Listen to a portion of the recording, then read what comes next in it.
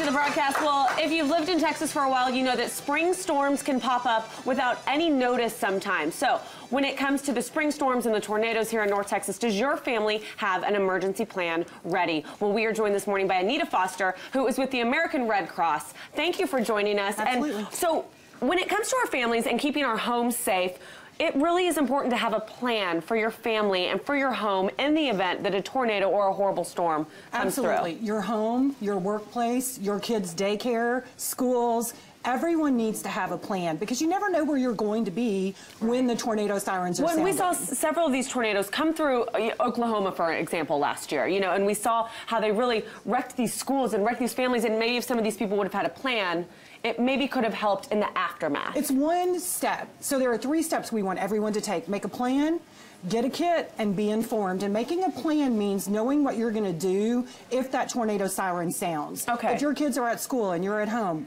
is it a good idea to jump in your car and race to the school? Absolutely No. not, because your children still need their parents. Okay. And they are in one of the safest places, and I know how hard it was for all of us to see that footage of Oklahoma last year. Right. But you talk to leading experts all over the country, and the kids were truly in the safest place they could have been Now, in. I went to Moore to help with the cleanup efforts afterwards, and I'd never seen anything like it.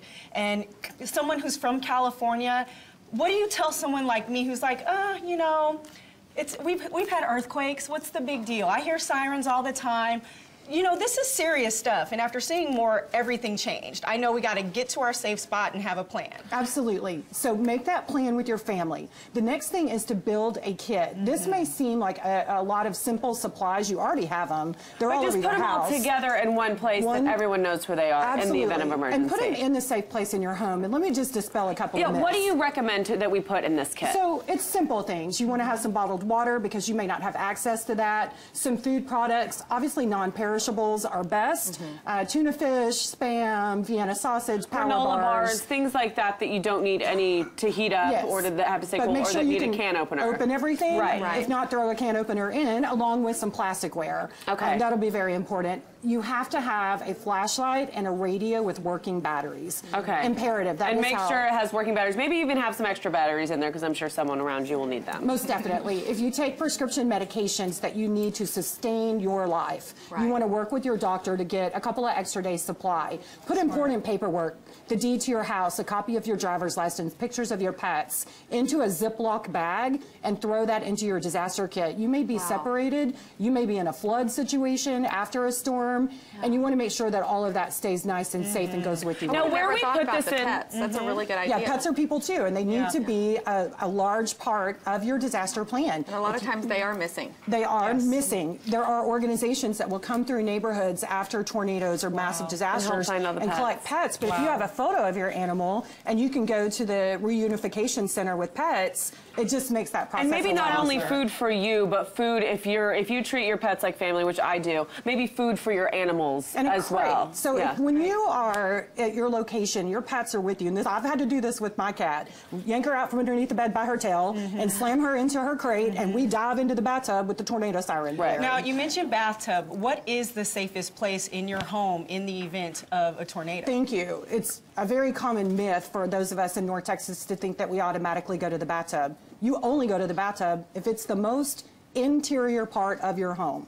If it's on an outside wall, you can look out the Mm. so window. it could to the even be a closet, just something that has no exterior walls. You want to have as many walls in between you and the outdoors as you possibly can. What about like a closet under a staircase? Absolutely. That's what I'm thinking. If it's interior, it's actually a really good location. So reassess your plans. If you are just going to the bathtub because that's what you've been told, Mm-hmm. then rethink that and make sure it's the most interior. Now, last year y'all launched something that's really amazing at American Red Cross, and that's the Red Cross app. Yes, we Um, did. this is the second year that the Red Cross app has been working. Tell us how this app and having this app already on our phones can really help us in the event of emergency. It's amazing because the Tornado app, when you download it, you can set it to your geographic location that you want to monitor. Mm-hmm. If there is a tornado warning issued for that area, the siren on your phone will sound exactly like oh, the Oh, wow. outdoor warning siren that you hear. Your app does not have to be on. So you may be sleeping in your bed at 2.30 in the morning when And we the get a tornado warning stormed, Wow. and it will set that That's app off. awesome. And you know, as terrifying as that is, and we have had that happen,